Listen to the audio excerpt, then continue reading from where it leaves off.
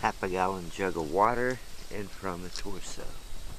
And since it's deer hunting season at the end of this month, my uh, 357 pistol, someone will be using this. I might use it for a day or so. But I want to make sure it's zeroed at 100 yards. Going to be shooting a Hornady 180 grain HP XTP. Very hard hitting round going about the speed of sound.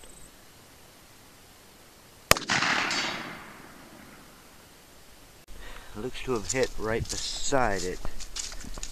That neck hit. Going to adjust one click left.